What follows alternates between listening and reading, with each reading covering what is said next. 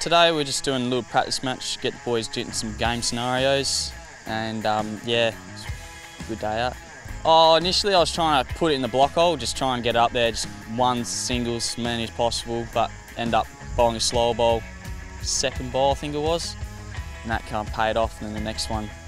bowled him, just got up in block hole, so good to um, try and find variations in pace as well. Uh, in the rookie camp, I'm um, trying to pick the knowledge off all the coaches and all, um, all the staff here, and I especially asked Rhino for his strategies and to, towards batsmen and yeah, just anything that helps me in my future.